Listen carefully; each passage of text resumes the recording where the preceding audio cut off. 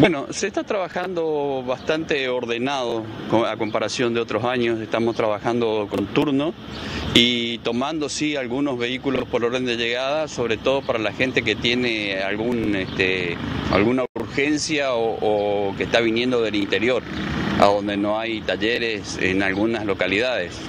Sí hay este, en Cespeña, Villa Ángela, Charate y Castelli, aparte de Resistencia pero por ahí hay algunas localidades que, no tienen y entonces vienen al taller y a esto se los atiende por orden de llegada.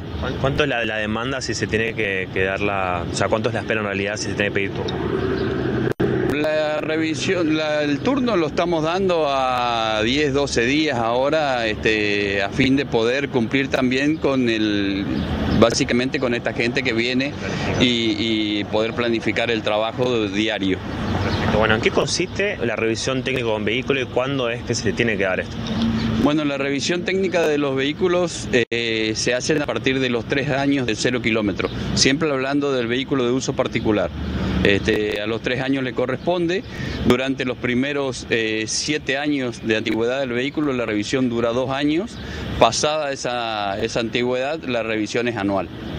Y este, básicamente lo que se revisa es son todos los elementos de seguridad, tren delantero, dirección, cubiertas, luces, frenos, amortiguación, eh, gases de escape, una revisión general del vehículo, pero se hace hincapié sobre todo en los elementos de seguridad, este, sobre todo tren delantero y freno. ¿Qué recomendaciones le podemos dar a la gente antes de que venga acá? Porque por ahí no, no lo revisan al auto antes, lo tienen que llevar a su taller, a su mecánico, que lo vea más o menos para no perder el tiempo de venir dos veces acá. Bueno, eh, fundamentalmente que esté en condiciones lo que hablábamos eh, recién, este, los puntos más importantes, lo que hace a seguridad del vehículo. Eso es lo que deberían tener en cuenta antes de, venir al taller. También está la otra posibilidad de venir al taller a hacer la revisión y que el taller le marque específicamente qué tiene que reparar o qué tiene que poner en condiciones eh, para poder aprobar la revisión. Entonces va a su mecánico y le pide exactamente lo que necesita. La reinspección del vehículo viniendo dentro de un plazo que se le otorga eh, no tiene costo. ¿Cuáles son por ahí la, eh, lo común que se encuentran en cuanto a la revisión técnica de los vehículos particulares? Bueno, fundamentalmente el, mayor inconveniente por ahí es la falta de frenos.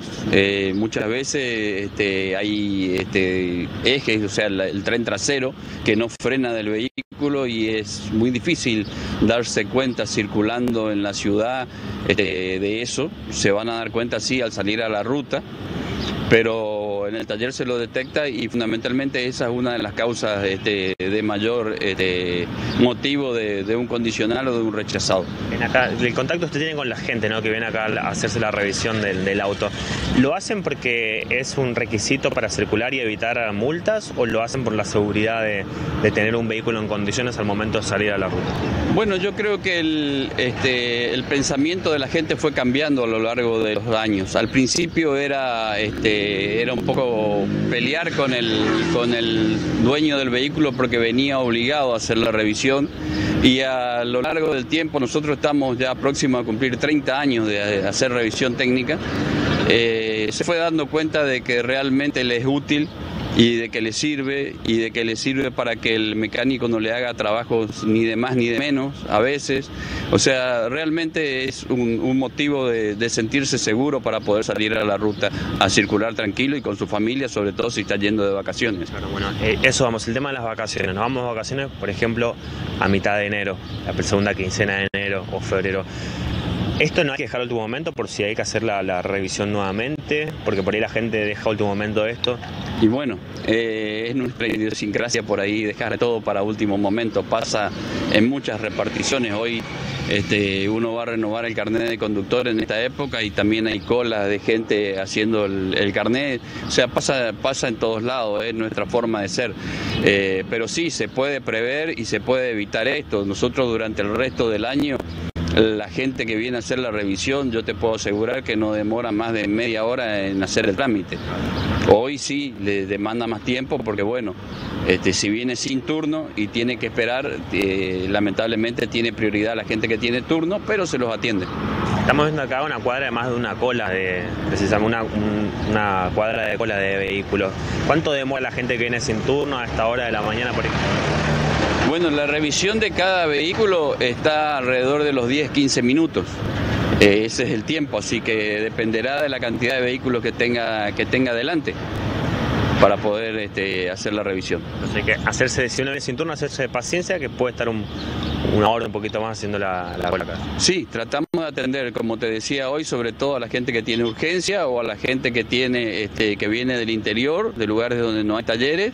Este, tratamos de, de atenderlos y de darle prioridad, pero siempre teniendo en cuenta de que hay gente que tiene turno y que a esos hay que respetarle el horario. ¿Cuánto está la tarifa para la, la revisión?